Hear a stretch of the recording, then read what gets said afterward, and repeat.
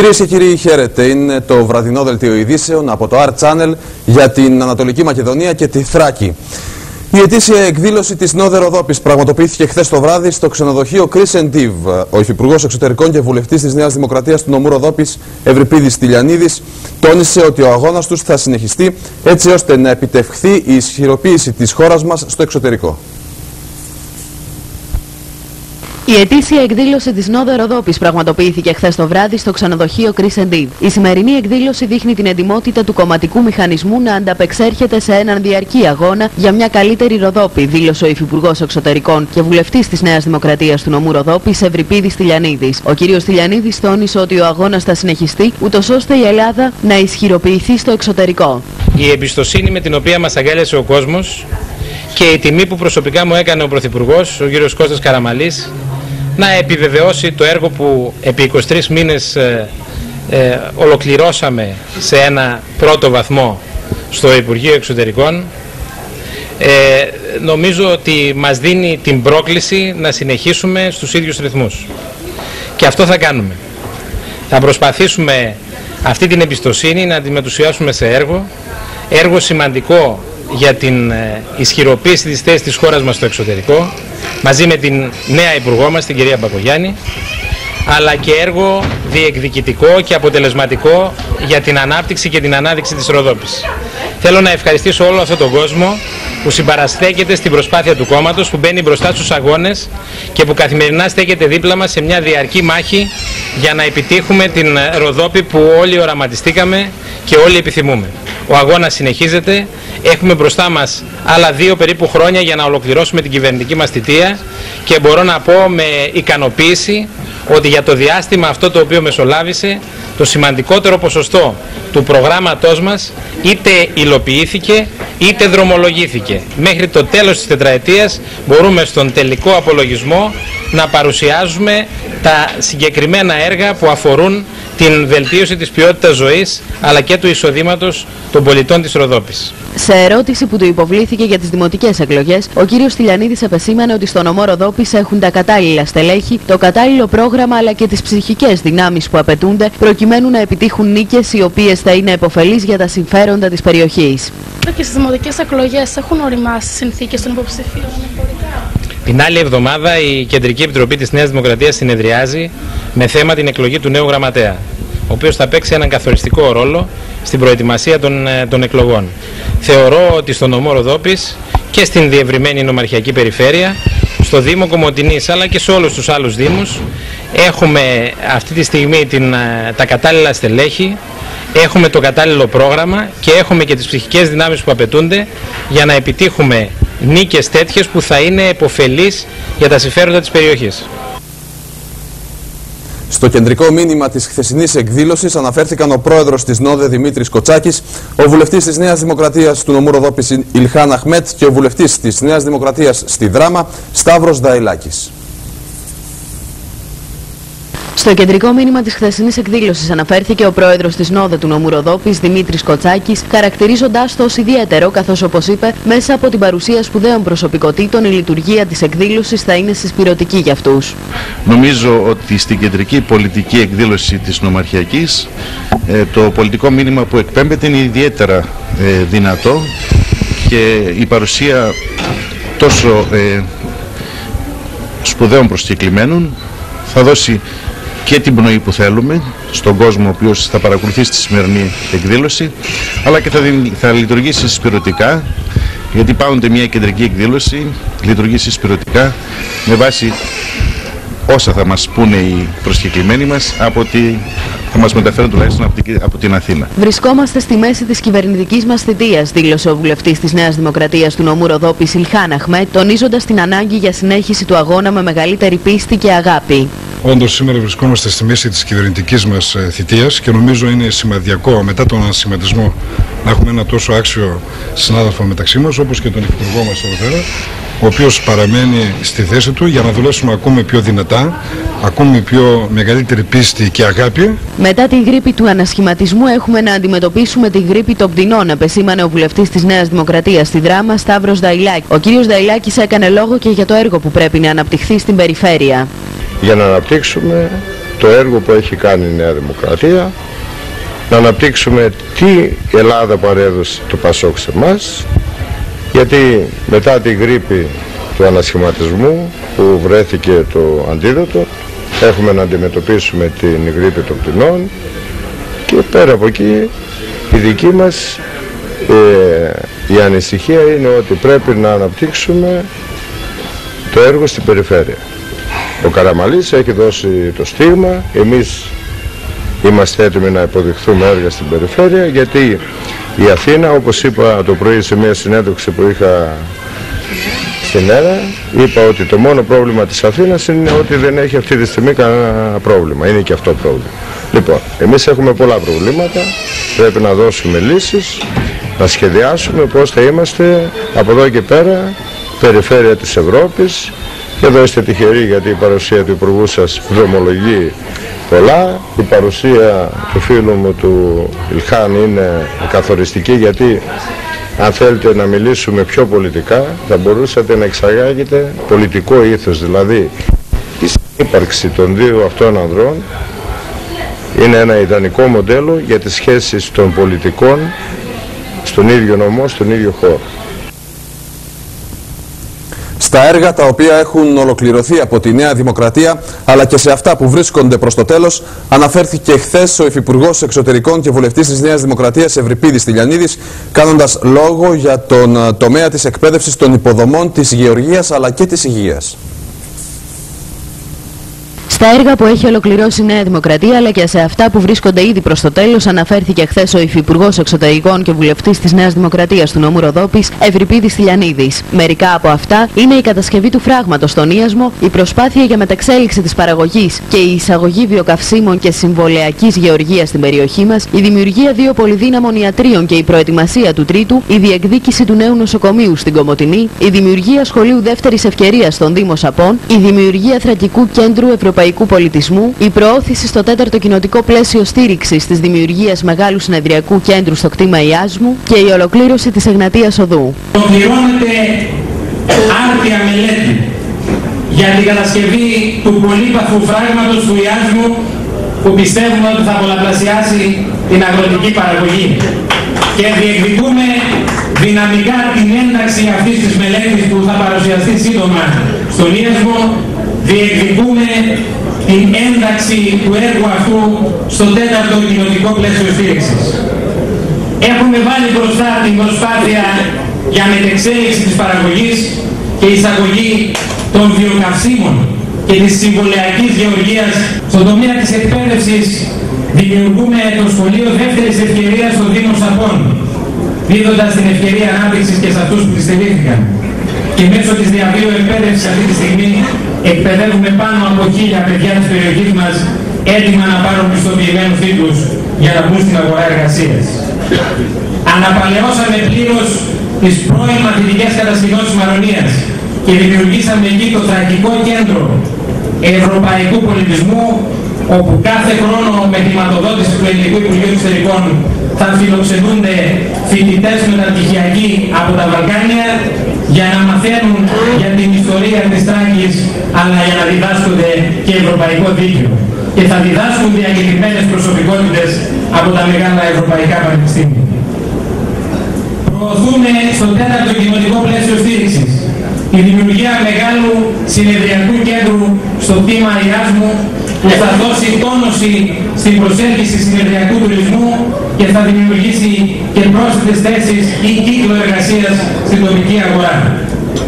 Στον τομέα των υποδομών εγκαινιάσαμε στο νομό μας το μεγαλύτερο αιωλικό πάρκο της χώρας και αυτή η πολιτική εναλλακτικής ενέργειας θα συνεχιστεί. Ολοκληρώνεται η Εγνατία Οδός και μόλις τα συνεργεία θα έρθουν να δράσουν στην περιοχή θα υλοποιήσουν και τις δύο δεσμεύσεις για το άνοιγμα της τρίμης και για τη σύνδεση με τη ΒΙΠΕ.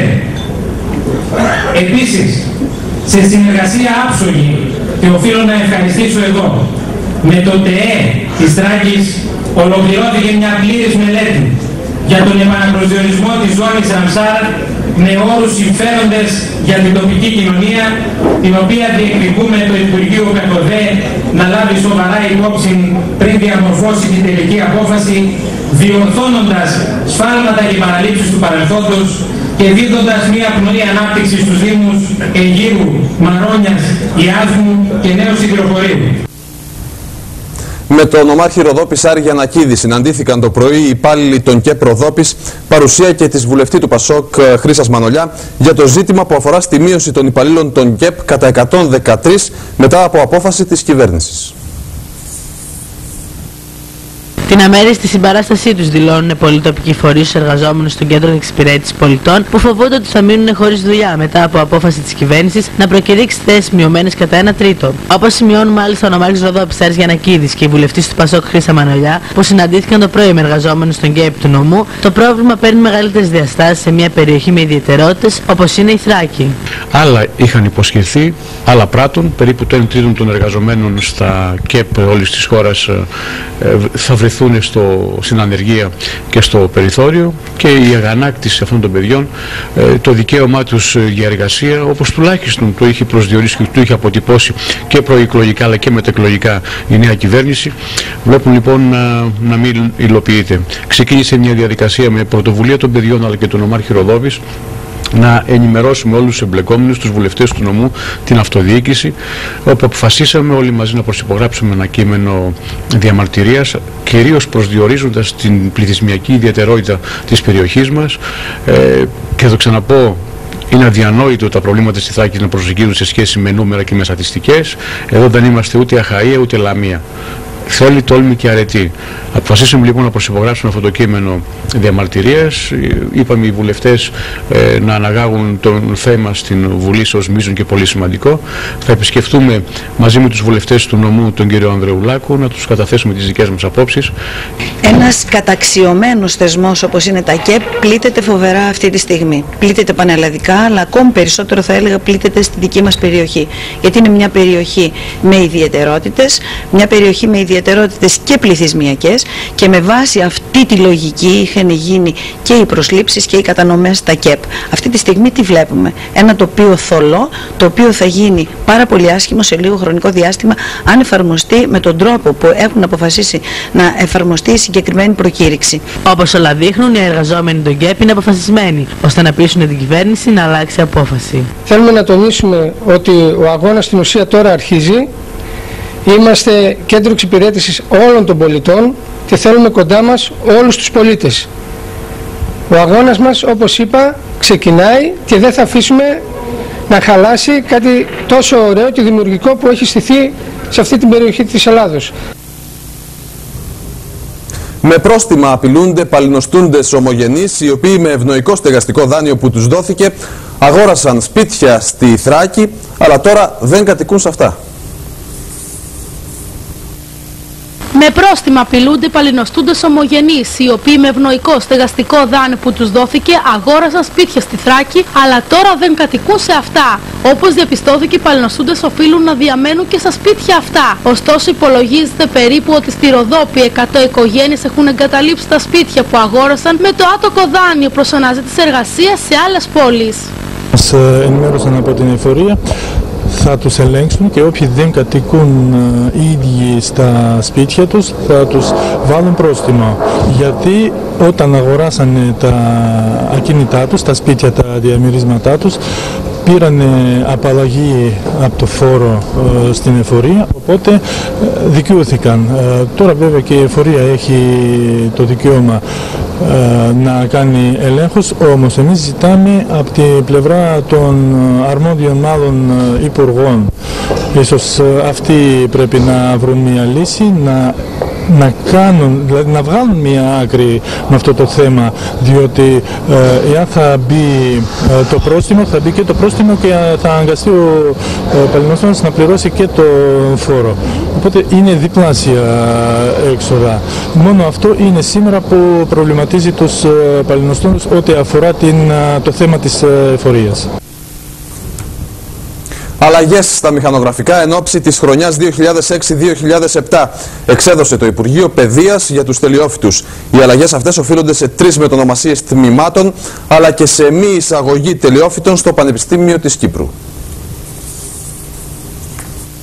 αλλαγές στα μηχανογραφικά δελτία για την ανώτατη εκπαίδευση προωθεί το Υπουργείο Παιδείας για τους τελειόφοιτες το 2006 και το 2007. Οι αλλαγές οφείλονται στις μετονομασίες τριών πανεπιστημίων, συγκεκριμένα του Παιδαγωγικών Υπηαγωγών του Πανεπιστημίου Θράκης που ανήκει στο πρώτο και δεύτερο επιστημονικό πεδίο, μετονομάζεται Τμήμα Επιστημών της Εκπαίδευσης και της Αγωγής στην προσχολική ηλικία. Το Τμήμα Οργάνωσης και Διαχείρισης Αγροτικών Εκμεταλλεύσεων του Πανεπιστημίου Ανίνων που ανήκει στο πέμπτο επιστημονικό πεδίο μετονομάζεται σε Τμήμα Διοίκησης Επιχειρήσεων Αγροτικών Προϊόντων και Τροφίμων Ιωαννίνων και το Τμήμα Γεωπονίας Ζωικής Παραγωγής και Υδάτων Περιβάλλοντος του Πανεπιστημίου Θεσσαλίας που ανήκει στο δεύτερο και τέταρτο επιστημονικό πεδίο μετονομάζεται σε Τμήμα Γεωπονίας, Ιχθυολογίας και Υδάτων Περιβάλλοντος. Φέτος, στα γραφικά δελτία δεν θα περιλαμβάνονται οι σχολές του Πανεπιστημίου Κύπρου και η Στρατιωτική Σχολή Υπταμένων Ραδιοναυτήλων που δεν θα δεχτεί ούτε φέτος νέους σπουδαστές. Το δεύτερο 15 του Μαΐου θα αρχίσουν και φέτος οι απολυτήριες εξετάσεις. Πρώτο πρώτο έχουμε μετονομασίες κάποιων τμήματων. Στο παιδαγωγικό, στο τμήμα νηπιαγωγών της Πάτρας που ανήκει στο πρώτο και δεύτερο επιστημονικό πεδίο μετονομάζεται σε τμήμα επιστημών της εκπαίδευσης και της αγωγής στην προσχολική ηλικία του Πανεπιστημίου Πάτρας. Το τμήμα οργάνωσης και διαχείρισης αγροτικών εκμεταλλεύσεων του Πανεπιστημίου Ιαννίνων που εδρεύει στο Αγρίνιο και ανήκει στο 5ο επιστημονικό πεδίο μετονομάζεται σε τμήμα διοίκησης επιχειρήσεων αγροτικών προϊόντων και τροφίμων Ιωαννίνων. Το τμήμα γεωπονίας, ζωικής παραγωγής και υδάτινου περιβάλλοντος Θεσσαλίας που εδρεύει στο Βόλο και ανήκει στο δεύτερο και τέταρτο επιστημονικό πεδίο μετονομάζεται σε τμήμα γεωπονίας, ηχθειολογίας και υδάτινου περιβάλλοντος. Αμέσως τώρα μικρή διακοπή για διαφημίσεις και σε λίγο και πάλι μαζί. Επιστρέφουμε στο δελτίο μας. Στις 26 Φεβρουαρίου θα κόψει την πρωτοχρονιάτικη πίτα ο Σύλλογος Ξενοδόχων Θράκης στην Αλεξανδρούπολη. Στις 26 Φεβρουαρίου θα κοπεί πρωτοχρονιάτικη πίτα μέσα σε φιλική ατμόσφαιρα του Συλλόγου Ξενοδόχων Θράκης στην Αλεξανδρούπολη. Πριν την κοπή θα πραγματοποιηθεί Γενική Συνέλευση με θέμα τον τουρισμό. Ε, ο Σύνδεσμος Ξενοδόχων Θράκης ε, έχει αποφασίσει να κόψει εντός του Φεβρουαρίου την ε, πίτα, βέβαια θα έχουμε και γενική συνέλευση και το έχουμε αποφασίσει αυτή τη στιγμή για τις 26 Φεβρουαρίου με το θέλημα του Θεού. Ε, στην Αλεξανδρούπολη βέβαια ακόμη δεν είναι ε, εντελώς καθορισμένο αλλά εκεί το έχουμε συζητήσει. Στα τι ζητήματα θα συζητηθούν στη Γενική Συνέλευση; Είναι τα θέματα των ξενοδόχων. Δηλαδή, έτσι το πρώτο θέμα. Του τουρισμού, για τον τουρισμό, για την ανάπτυξη του τουρισμού. Βέβαια είμαστε ξενο, ε, σύνδεσμος ξενοδόχων Θράκης, θα συζητήσουμε για τον, ε, την ανάπτυξη του τουρισμού στη Θράκη, τι έχουμε γίνει, θα γίνει ένας απολογισμός, κάποιος προγραμματισμός, και στο σημείο αυτό κυρίες και κύριοι ολοκληρώθηκε το απόψινό δελτίο ειδήσεων από το Art Channel για την Ανατολική Μακεδονία και τη Θράκη. Σας ευχαριστούμε που μας παρακολουθήσατε. Από όλους εμάς καλό σας βράδυ.